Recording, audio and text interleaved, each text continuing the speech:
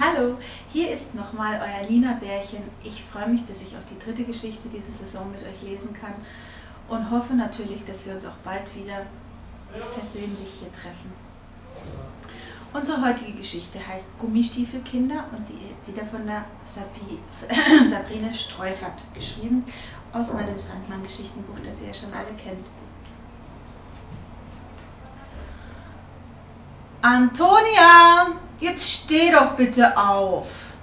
Antonias Mutter kommt die Treppe herauf und schaut ins Kinderzimmer. Na komm, wir wollen uns doch heute deinen neuen Kindergarten ansehen. Antonia schnappt sich Bello, ihren kleinen Stoffhund, und zieht sich schnell die Decke über den Kopf. Ich gehe nicht in diesen Kindergarten. Niemals! ruft sie unter der Decke hervor und schmollt.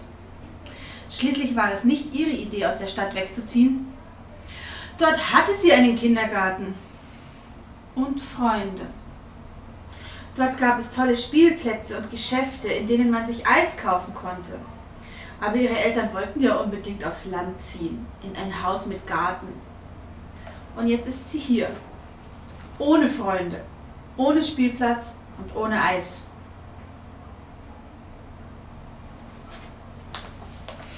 Zum Kindergarten muss ihre Mutter sie immer mit dem Auto fahren und einkaufen kann man hier auch nicht. Hier gibt es nur einen Bauernhof, ein paar Häuser, einen kleinen See und viele, viele Felder. Wie langweilig! Antonia, bitte.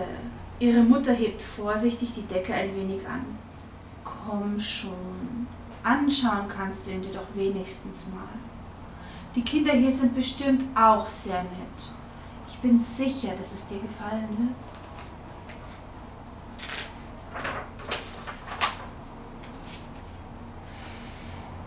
Tut es aber nicht, mault Antonia. Florian hat gesagt, dass die Kinder hier alle in Gummistiefeln herumlaufen und nach Kuhstall riechen. Schwungvoll zieht sie die Decke wieder herunter. Ich will nicht in diesen blöden Kuhkindergarten. War Florian denn schon einmal hier? fragt ihre Mutter vorsichtig. Nö, tönt es unter der Decke hervor. Na, dann kann er das doch auch gar nicht wissen, oder? sagt Antonias Mutter. Eine Weile geschieht nichts. Dann raschelt es unter der Decke und Antonia steckt zögernd den Kopf heraus.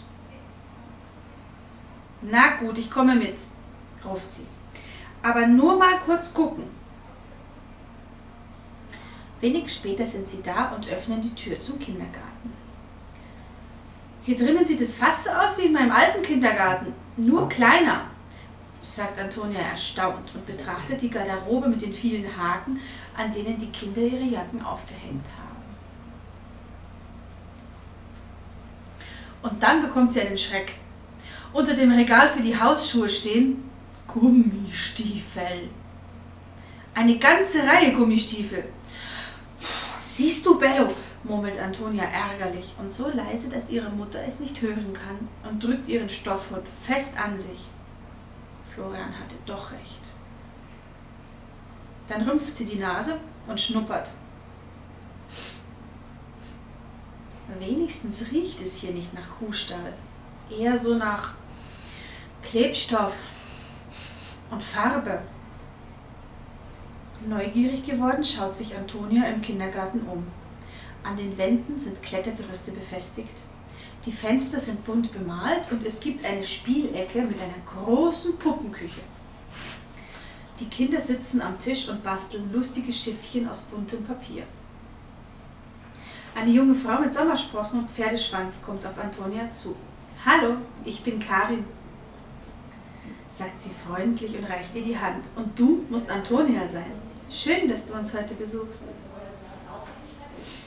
Dann zeigt sie Antonia, wo sie ihre Jacke aufhängen kann. Aber Antonia will die Jacke gar nicht ausziehen. Ich möchte doch nur mal gucken, sagt sie trotzig und schaut ihre Mutter hilfesuchend an. Na gut, meint Karin und lacht, dann schau dich erstmal in Ruhe um. Wir wollen sowieso gleich einen kleinen Spaziergang zum Bach machen und unsere Papierschiffe schwimmen lassen. Wenn du Lust hast, darfst du da auch gleich gerne mitkommen. Mit den Papierschiffen zum Bach gehen hört sich eigentlich toll an, findet Antonia. Sie schaut ihre Mutter an und fragt zögernd, darf ich mit, Mami? Natürlich darfst du mitgehen. Ich warte so lange hier mit Bello auf dich. Sie nimmt Antonia den kleinen Stoffhund aus der Hand. Ein Mädchen zupft Antonia am Ärmel. Hallo, sagt sie etwas verlegen und hält ihr ein kleines rotes Papierboot hin. Ich bin Julia. Wenn du willst, gebe ich dir eins von meinen Schiffchen ab.